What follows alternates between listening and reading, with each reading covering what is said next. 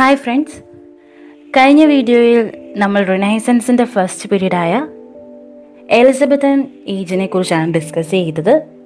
Renaissance പീരീഡിന്റെ second age ആയ Jacobean ഏജിനെ കുറിച്ചൊരു വീഡിയോ ആണ് ഇന്ന് ഈ കോണർ നിങ്ങൾക്ക് വേണ്ടി പ്രിപ്പയർ ചെയ്തിരിക്കുന്നത്. Jacobean age sixteen nought three to sixteen twenty five കാലഘട്ടമാണ് ജെക്കോബിയൻ ഏജ് എന്ന് അറിയപ്പെടുന്നത്. ജെയിംസ് ഫസ്റ്റ് ഭരണം നടത്തിയിരുന്ന കാലഘട്ടമാണിത്. ഈ ടൈം പീരീഡിലെ ലാസ്റ്റ് അഞ്ച് വർഷത്തിനെ പ്യൂരിറ്റൻ പീരീഡ് എന്നാണ് പറയുന്നത്. കാരണം ആ ടൈമിൽ ഡ്രൈവിംഗ് ഫോഴ്സ് എന്ന് പറയുന്നത് ഇംഗ്ലണ്ടിന്റെ പ്യൂരിറ്റനിസം ആയിരുന്നു. സോ അതുകൊണ്ട് തന്നെ പ്യൂരിറ്റൻ പീരീഡ് എന്നായിരുന്നു ഈ ടൈം പീരീഡിനെ പറയുന്നത്. ഇംഗ്ലീഷ് പ്രോസിന് ഒരുപാട് ഡെവലപ്മെന്റ് വന്ന ഒരു കാലഘട്ടമാണ് ജക്കോബിയൻ ഏജ് അതുപോലെ തന്നെ ഷേക്സ്പിയറിന്റെ വർക്ക് ജക്കോബിയൻ ഏജിലും ഉണ്ടായിരുന്നു. പക്ഷേ ഷേക്സ്പിയറിന്റെ മരണശേഷം ഡ്രാമയ്ക്ക് ഒരു ഡിക്ലൈൻ ആണ് സംഭവിച്ചത്.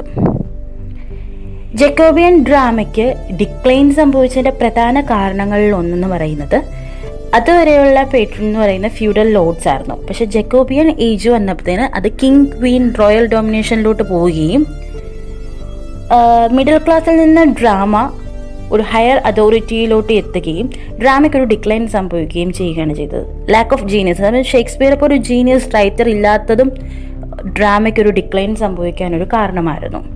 ക്യാരക്ടറൈസേഷൻ ആണെങ്കിൽ പോലും അത്ര ഹൈലി ഇന്റലക്ച്വൽ ഒന്നും അല്ലായിരുന്നു. അതുപോലെ ഡ്രാമാറ്റിക് ടെക്നിക്സ് വളരെ കുറവായിരുന്നു ജക്കോബിയൻ ഡ്രാമയിൽ അതുകൊണ്ട് തന്നെ ജക്കോബിയൻ ഏജിൽ ഡ്രാമയ്ക്ക് ഒരു വലിയ ഒരു ഡിക്ലൈനാണ് സംഭവിച്ചത്. ജക്കോബിയൻ ഏജിലാണ് റിവഞ്ച് ട്രാജഡി എന്നുള്ള ഡ്രാമ ഫോം ഒറിജിനേറ്റഡ് ആവുന്നത്. റിവഞ്ച് ട്രാജഡി എന്ന് പറയുമ്പോൾ അതിനകത്ത് റിവഞ്ച് ഉണ്ടാകും. അതിനകത്ത് ബിഹേവിയർ എന്ന് പറയുമ്പോൾ ബ്രൂട്ടൽ ബിഹേവിയർ ആയിരിക്കും. സൊസൈറ്റി ഭയങ്കര കറപ്റ്റഡ് ആയിരിക്കും. അതുപോലെ റിലീജിയസ് ആൻഡ് മോറൽ ഹിപ്പോക്രസി കാണിക്കുന്ന ഒരു ടൈപ്പ് ഓഫ് ഡ്രാമ ഫോമാണ് റിവഞ്ച് ട്രാജഡി എന്ന് പറയുന്നത്. അതിന്റെ ഫേമസ് ആയിട്ടുള്ള റിവഞ്ച് ട്രാജഡി ഈ ടൈമിലെന്ന് പറഞ്ഞാൽ Duchess of Malfi the white devil John വെബ്സ്റ്ററിന്റെ അതുപോലെ Thomas മിഡിൽട്ടന്റെ the revenger's tragedy the changeling അപ്പോൾ നമ്മുടെ ഷേക്സ്പിയറിന്റെ ഹാംലെറ്റ് ഒക്കെ ഈ ടൈമിലെ ഫേമസ് ആയിട്ടുള്ള റിവഞ്ച് ട്രാജഡീസ് ആണ്. ജക്കോബിയൻ ഏജിനെ കുറിച്ച് പറയുമ്പോൾ മറ്റൊരു ഫേമസ് ആയിട്ടുള്ള കാര്യം എന്ന് പറയുന്നത് ഓതറൈസ്ഡ് വേർഷൻ ഓഫ് ബൈബിൾ ഇറങ്ങിയത് ജക്കോബിയൻ ഏജിലാണ്. അതായത് ഇംഗ്ലീഷ് ബൈബിൾ അല്ലെങ്കിൽ കിങ് ജെയിംസ് ബൈബിൾ എന്ന് പറയുന്നത് ഇറങ്ങിയ ടൈം പീരീഡ് ജക്കോബിയൻ ഏജ് ആണ് അതായത് ഇംഗ്ലണ്ട് ചർച്ചിലെ ഫോർട്ടി സെവൻ സ്കോളേഴ്സ് ഒരുമിച്ചിരുന്ന് എഴുതി തിട്ടപ്പെടുത്തിയ ഇംഗ്ലീഷ് ബൈബിളും. അതിനുശേഷം അത് റീഎഡിറ്റ് ചെയ്തത് ബെഞ്ചമിൻ ബെയ്ലിയാണ്. അത്രമാത്രം എന്താണ് പറയുന്ന ഡീറ്റെയിൽഡ് ആയിട്ട് കോൺസെൻട്രേറ്റ് ചെയ്ത് ചെയ്തതുകൊണ്ട് തന്നെ അതിനെ ഓതറൈസ്ഡ് വേർഷൻ എന്നാണ് ഇന്നും അറിയപ്പെടുന്നത്. ഈ time period Jacobean time period പോയട്രിക്കും ഒരുപാട് ഫേമസ് ആണ്. കാരണം മെറ്റഫിസിക്കൽ പോയട്രി വന്നത് ഈ കാലഘട്ടത്തിലാണ്. മെറ്റഫിസിക്കൽ പോയറ്റ്സ് എന്നുള്ള ടേം കോയിൻ ചെയ്തത് സാമുവൽ ജോൺസൺ ആണ്. മെറ്റഫിസിക്കൽ പോയട്രി എന്ന് പറഞ്ഞാൽ ഹൈലി സ്പിരിച്വൽ ആണ്. ഇറ്റ് ഫോക്കസസ് ഓൺ ലവ് അതുപോലെ സോളിന്റെ യൂണിയനെ കുറിച്ചൊക്കെയാണ് പോയട്രിയിൽ പറയുന്നത്. ഒരു തോട്ടിന്റെ ഫീലിങ്ങിന്റെ ഒരു കോമ്പിനേഷനാണ് മെറ്റഫിസിക്കൽ പോയട്രി നമുക്ക് വേണമെങ്കിൽ പറയാം. ബ്രീഫാണ് കൺസൈസ് ആണ് ആംബിഗ്യസ് ആണ് ഒബ്സ്ക്യൂർ ആണ് അതുപോലെ ഒറിജിനാലിറ്റി ഇതിന്റെ ഒരു പ്രത്യേകതയാണ്. അതായത് ഒരു ഒറ്റ മീനിങ് എന്ന് നമുക്ക് പറയാൻ പറ്റത്തില്ല ഇതിനെ. ഒരു ലെയേഴ്സ് ഓഫ് മീനിങ് ഉണ്ട് മെറ്റഫിസിക്കൽ പോയട്രിക്ക് മെറ്റഫിസിക്കൽ പോയട്രി എടുത്ത് പറയുമ്പോൾ അതിനകത്ത് യൂസ് ചെയ്യുന്ന കൺസീറ്റ്സ് ഭയങ്കര ഫേമസ് ആണ്. കൺസീറ്റ്സ് ഇൻ ദ സെൻസ് രണ്ട് ഡിസിമിലർ ആയിട്ടുള്ള കാര്യങ്ങളെ കമ്പയർ ചെയ്യുന്നതിനെയാണ് മെറ്റഫിസിക്കൽ കൺസീറ്റ്സ് എന്ന് പറയുന്നത്.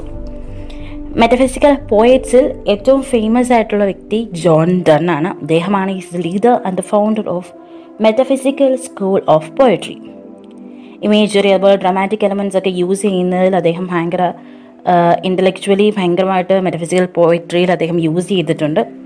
അദ്ദേഹത്തിന്റെ ഫേമസ് ആയിട്ടുള്ള മെറ്റഫിസിക്കൽ പോയംസ് എന്ന് പറയുന്നത് progress of the soul and anatomy of the world analogy epithalamium തുടങ്ങിയവയാണ്. ആ ടൈം പീരീഡിലെ ഫേമസ് ആയിട്ടുള്ള മെറ്റാഫിസിക്കൽ പോയറ്റ്സ് എന്ന് പറയുന്നത് John Donne George Herbert Andrew Marvell Saint Robert Southwell Richard Crashaw Henry Vaughan തുടങ്ങിയവരാണ്. ജഗോബിയൻ ഇത പറയുമ്പോൾ എപ്പോഴും അവിടുത്തെ ഫേമസ് റൈറ്റേഴ്സിനെ എടുത്തു പറയാൻ ഒരുപാട് പേരുണ്ടെങ്കിലും ദ മോസ്റ്റ് ഫേമസ് വൺ എന്ന് പറയുന്ന ഒന്ന് ജോൺ വെബ്സ്റ്റർ ആണ്. അദ്ദേഹം ജക്കോബിയൻ പ്ലെയർ ആയിട്ടാണ്. അദ്ദേഹത്തിന്റെ ട്രാജഡീസിലാണ് അദ്ദേഹം ഏറ്റവും ഫേമസ് ആയത്. ജക്കോബിയൻ വർക്ക്സ് എപ്പോഴും എടുത്തു പറയുമ്പോൾ ഏറ്റവും ഫേമസ് ആയിട്ട് നമ്മൾ പറയുന്നത് വൈറ്റ് ഡെവിൾ അതുപോലെ ഡച്ചസ് ഓഫ് മാൽഫിയോ ഒക്കെ ജോൺ വെബ്സ്റ്ററിന്റെ ട്രാജഡീസ് ആണ്. അതാണ് അദ്ദേഹത്തിന് അത്രയധികം ഫേമസ് ആകാനും കാരണം. The second one is Ben Jonson is a dramatist. Dramatist ആണെങ്കിൽ അദ്ദേഹം പോയിട്രിയും പ്രോസും ഡ്രാമയും ഒക്കെ എഴുതിയിട്ടുണ്ട്. ഷേക്സ്പിയറിന്റെ കണ്ടംപററി ആണ് അദ്ദേഹം എന്നാണ് പറയപ്പെടുന്നത്. അദ്ദേഹത്തിന്റെ വോൾപോൺ അതുപോലെ ആൽക്കമിസ്റ്റ് ആണ് അദ്ദേഹത്തിന് ഫേമസ് ആയിട്ടുള്ള സറ്റാരിക്കൽ അതായത് ഫൂളിഷ്നെസ് കാണിക്കുന്ന ടൈപ്പ് സറ്റാരിക്കൽ പ്ലേസിൽ കൊണ്ടാണ് അദ്ദേഹം ഭയങ്കര ഫേമസ് ഈ തമ്മിലെ ഫേമസ് റൈറ്റർ എന്ന് പറയാൻ പറ്റുന്നതും. ജക്കോബിയൻ ഏജ് എന്ന് പറയുന്നത് ഒരു ഷോർട്ട് ടൈം പീരീഡ് ആണ്. ആ ടൈം പീരീഡിനുള്ളിൽ നടന്ന മേജർ ഇൻസിഡൻസ് മൂവ്മെന്റ്സ് റൈറ്റേഴ്സിനെ കുറിച്ചൊക്കെ നമ്മൾ മെൻഷൻ ചെയ്തിട്ടുണ്ട്. As I said before capsule video ആണ്. അതുകൊണ്ട് തന്നെ ഷോർട്ട് ഇൻഫർമേഷൻസ് മാത്രമേ ഉള്ളൂ. ഈ വീഡിയോ നിങ്ങൾക്ക് ഇഷ്ടപ്പെട്ടെങ്കിൽ ലൈക്ക് ചെയ്യുക കമന്റ് ചെയ്യുക. നിങ്ങൾക്ക് എങ്ങനെയുള്ള വീഡിയോകളാണ് വരാൻ താല്പര്യം എന്നുണ്ടെങ്കിൽ നിങ്ങൾക്ക് കമന്റ് ബോക്സിൽ എഴുതാവുന്നതാണ്. ഉറപ്പായിട്ടും കൺസിഡർ ചെയ്യുന്നതാണ്. നിങ്ങൾ ഇതുപോലെ എന്റെ ചാനൽ സബ്സ്ക്രൈബ് ചെയ്തിട്ടില്ലെങ്കിൽ സബ്സ്ക്രൈബ് ചെയ്യുക. അപ്പോൾ സൈഡിൽ കാണുന്ന ബെൽ ബട്ടൺ കൂടി ഇനേബിൾ ചെയ്താൽ ഇത്തരത്തിലുള്ള വീഡിയോസ് വരുമ്പോൾ നിങ്ങൾക്ക് നോട്ടിഫിക്കേഷൻ കിട്ടുന്നതായിരിക്കും. Thanks for watching. Thank you.